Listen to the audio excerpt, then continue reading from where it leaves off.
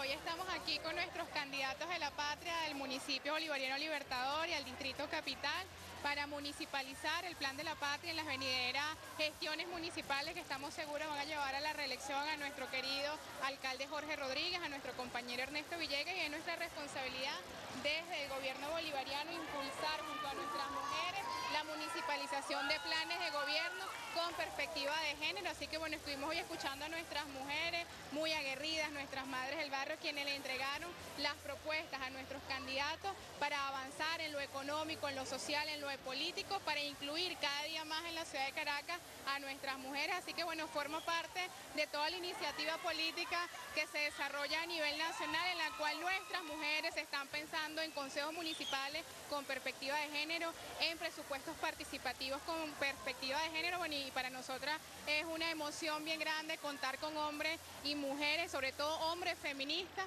leales al legado del comandante Hugo Chávez, que bueno, como todos sabemos, incluye dentro de su perspectiva de gobierno un socialismo feminista, un socialismo indigenista y un socialismo que tiene en el centro de su política pública a las mujeres. Igualmente aprovechamos el día de hoy, bueno, también para seguir eh, reimpulsando todo lo que tiene que ver con la organización de nuestras mujeres en la defensa popular de la economía, junto a nuestro alcalde de Caracas, junto a nuestros candidatos, quien desde ya, desde ya, desde ayer están en las calles, junto con nuestro pueblo, fiscalizando. Así que bueno, estamos acá felices con nuestras mujeres incorporadas en cada una de las tareas de la revolución bolivariana. Bien, una de estas propuestas que tuvieron aquí en este encuentro es la creación de los comités de mujeres para la defensa de la economía popular. Para eso se cuenta con nosotros Jorge Rodríguez para que nos traiga los detalles en qué va a consistir este comité con las mujeres del pueblo, con las mujeres revolucionarias. Sí, nos sentimos felices de estar aquí en esta reunión que nos convocó nuestra ministra de la mujer del gobierno revolucionario del presidente Maduro. Una reunión llena de alegría, llena de confianza en el futuro, llena de esperanza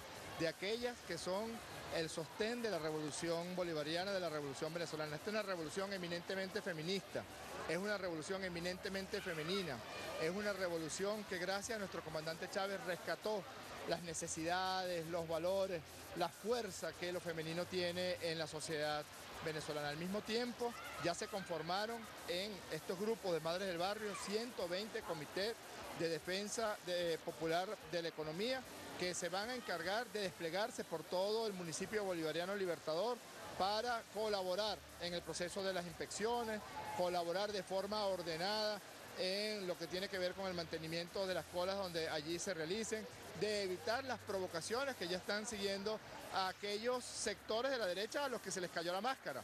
a los que fueron, los que fueron desmantelados por las medidas que acaba de tomar el presidente Maduro. Ellos aspiraban romperle el espinazo al pueblo de Caracas, al pueblo de Venezuela, por la vía del ahogamiento económico. Imagínate tú, ayer encontramos en un comercial en la avenida Nueva Granada de Caracas que las ollas de presión, que son las que más eh, compra el pueblo humilde, pues tenían mil por ciento de sobreprecio. Que una nevera costaba lo que cuestan dos apartamentos de la Gran Misión Vivienda Venezuela. Lo que cuesta construir dos apartamentos de la Gran Misión Vivienda Venezuela era el precio que tenía una nevera ayer en uno de los comerciales. ¿Qué aspiraban con eso? Bueno, aspiraban que el pueblo explotara,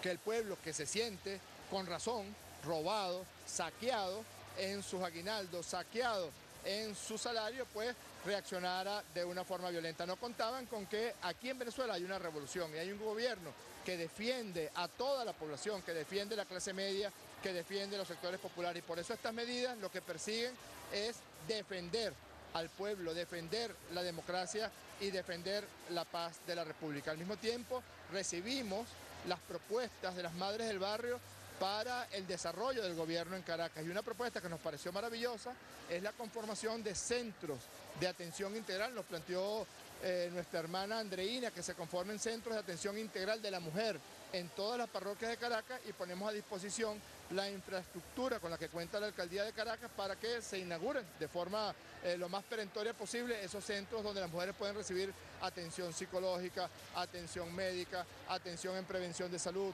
en prevención del cáncer de mama, en prevención del embarazo precoz, en todas las actividades que tengan que ver con cuidar a nuestras mujeres, con cuidar a las madres de la revolución, con cuidar a las hijas de la revolución en Caracas.